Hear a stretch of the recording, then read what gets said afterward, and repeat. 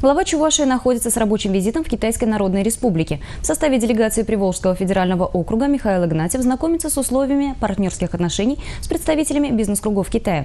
В ходе визита в Пекине пройдут встречи с представителями исполнительных органов власти Китайской Народной Республики. В планах проведения круглого стола, посвященного развитию межрегионального сотрудничества регионов Приволжского федерального округа и провинций бассейна реки Яньцзы.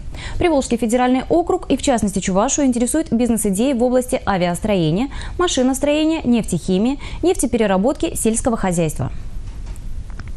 Май – месяц, когда на селе важен каждый день. Посевная в самом разгаре. Сегодня министр сельского хозяйства Сергей Павлов рассказал о том, какими темпами в Чувашии идет сев.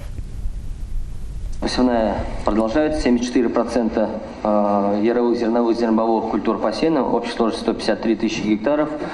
Э, хочу сказать, что если к уровню прошлого года сравнить, то в прошлом году было 111 э, тысяч гектаров.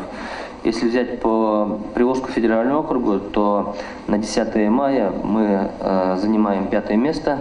Э, продолжается посадка картофеля. Э, три, больше трех тысяч гектаров посажено, это на уровне прошлого года, ну, где-то 20%.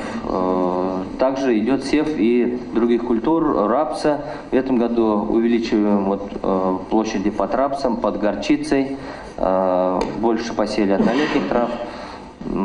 Если по районам взять, то все-таки задержка, вот те районы, которые мы раньше называли, это Шумилинский, Чебоксарский, Алатырские районы. Какие-то районы закончили? А, три района у нас закончили сев яровых зерновых культур. Это э, Яльчики, э, Комсомольский и Шамушинский районы. Полностью 100% выполнен план сева. Работу продолжаем. На этой неделе До завершим. 15 числа у нас задача была э, основной сев яровых зерновых завершить.